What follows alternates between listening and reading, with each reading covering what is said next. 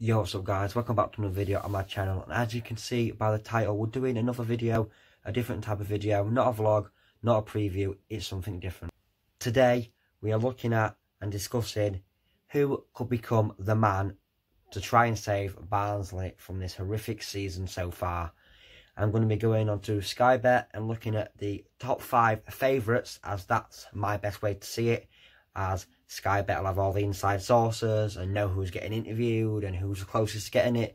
I'm going to look at the top five favourites to get the bar on the job and go through, give you some stats and stuff and give you my opinion on them and tell you if I think they'd be the right people for the job.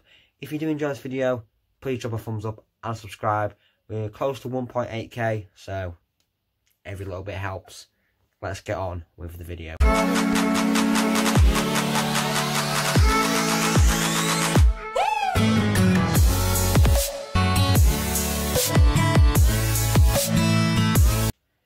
Right guys, we're going to be going from 5th favourite all the way up to 1st favourite. Starting off with a man called Jens Keller. A German manager I do believe. Um, you guys might have heard of him. He's been around the speculation within the last couple of weeks. Since we've got closer and closer to not getting a manager. It's been ridiculous. It's been over two weeks, nearly three weeks since we haven't had a manager, which I think is outrageous. But anyway, 5th is Jens Keller. He's managed in throughout his managerial career. He's managed in the Bundesliga for all of his career, managing five different Bundesliga clubs, the likes of Ingolstadt, um, Nuremberg, which is where he is currently at. He has a win ratio of 47%. Um, with this man, I don't know too much about him besides the facts I've given you. I heard a lot of people not too happy about this rumour as his um, win percentage what wasn't the best at less than 50% and that he, he's been sacked from every job I do believe. But if you think about it, most managers get sacked from every job. So I can see the point, but then I think it's a bit thingy. Um, like I said, I don't know too much about him. He's going to be bringing another guy over from another country that doesn't know nothing about the championship. It's going to be new to him and that's not going to help these players get out, get off the bottom of the league any quicker for me. So I think someone overseas is not going to be very good unless they've had experience in an English league, which looking at this guy's CV, he has not. So in my opinion, this guy would not be the right man, but he is fifth favourite on the the next manager on the favourites list on Sky Bet is the man who just recently left his job role at Cardiff City, Neil Warnock used to play or live in Barnsley, one or the other. Um, highly rumoured to be coming back. He has left Cardiff as he does, as he, in his thing, he said he felt he couldn't get them to where they needed to be with the squad he's got. He's set to retire at the end of the season. There's been a lot of rumours thinking that he'll finish his career over at Oakwell, as I do believe he used to live in, live in Barnsley or something like that. Um, he's got a long history of management. He's a very tough and solid manager. Um, like I said, tough and solid manager. Um, I reckon he would rip into these players and help them grow the balls to get off bottom in this league. But for me, if Barnsley Football Club does fork out to pay Neil Warnock's wages and sign him on, um, he will want back in the January transfer window to keep us up. And I cannot see our club um, buying by that and keeping us up. So, in my opinion, it would be a great manager. Um, I'd love him to come finish his career at our club. He's a bit of a knob, as people say, but um, he plays boring football, you might say, but he keeps teams up, and I, I think he'd be perfect for the job.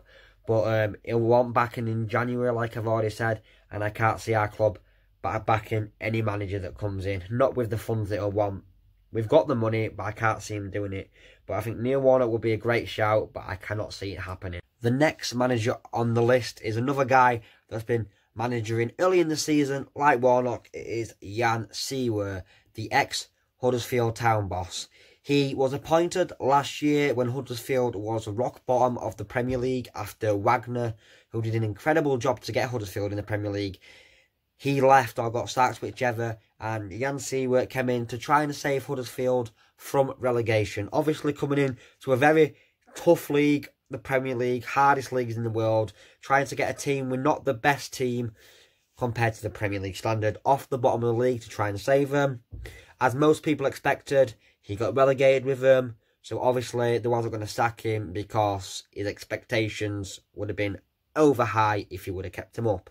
He then went into the start of this season, 2019-20 season, with um, Huddersfield Town and being sacked after single figure games for Huddersfield being down in the relegation zone.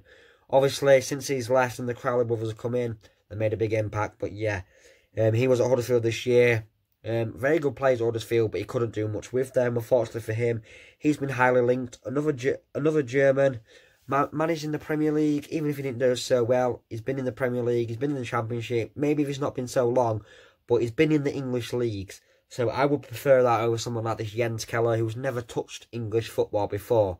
Um, I do believe Jan Siewert wouldn't be the answer to our questions, but he is third favourite for a reason. Highly linked with us since the departure of Daniel Stendel. Um, like I said, I don't believe he would be the key fit to keeping us up. But he's not the worst one to bring in. Another German. We've been linked with a lot of Germans recently but I don't believe he'd be the best. Now we're on to the second favourite. Going into the Barnsley history is Neil Redfearn, an ex-player, as you guys will know. Um, meant was a very cracking player. I did hear. Um, I've seen him on um, the Sky Sports panel when we've been on TV a couple of times. Seems quite a down and sound to earth guy. I never got the chance to watch him, but yeah, he's a Barnsley boy, played for Barnsley, and he's been linked with us. Um, ex-player, obviously. He's been managing recently at um, one of the Newcastle's under 19, I think he was under 19s or 18s or under 23s, one of them. But he's recently left, as rumours were he couldn't get on with some of the coaching staff there. People were leading to believe that he left because he was coming towards. I do believe he used to um, manage at Mansfield as well. But this one, um, he knows the club inside out, which I think would be incredible. But you've got the likes of Bobby Hassell and Devaney, who also know the club inside out, who have never been bothered about the first team managerial coach. Um, I just see it as a uh, Ole Gunnar Solskjaer situation.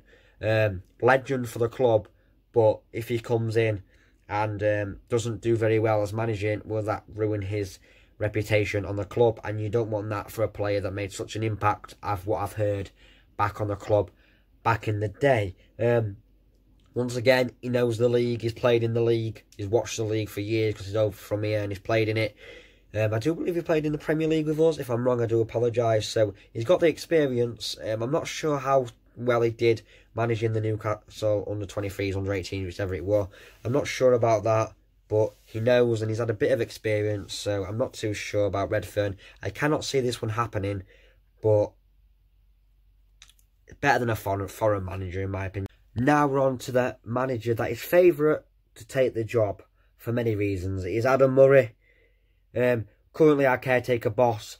He didn't used to be the favourite, but since he picked up them points against Swansea and West Brom, he's moved up to the favourite. He's up there with Redfearn and Siewert, like I've mentioned. Um, I've got to give him credit. When he first got appointed, as our caretaker boss, everyone was like, yeah, he's just temporary. He won't manage a game. It'll just be temporary until we get a manager in. Because we had, a, I think, a full week off and we all expected a manager to come in and him not to actually manage a game. And I'm not going to lie, I thought that as well. And as soon as we realised he was managing a game, everyone was like, why are we like an under 18s coach manage.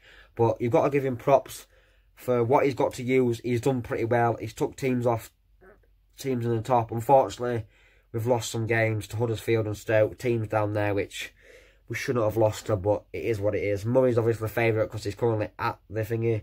In my opinion, if you're going to put money on anyone, it'd have to be Murray. Because any of them other ones, I don't know. I really don't know without any inside info, but I'm sure we'll find out. As soon as we find out, I'll be first to let you know, guys. But there are the top five, and there are my opinions. Let me know who you think would have a chance of saving Barnsley Football Club this season. I'm not sure who. If anyone, it's got to be Warnock for me. But I can't see us backing him in January because he'll want backing. But anyway, that's been me. I hope you have enjoyed watching this video, guys. If you have enjoyed, give it a thumbs up and like. Um, we're on the road to 1.8k. I think we're about 70 subscribers off. So if you could subscribe, that would be incredible. We want to try hit that before Christmas. That's a goal. Any better than that is amazing. There should be some kind of video or live stream Saturday seeing as there's no game, as it's international weekend. There's England game Thursday, Sunday. I'm not sure. I'll be live streaming one of them. I'm not sure. Most likely the Sunday one. but we'll see. Thank you for watching. Hit that subscribe button. See you next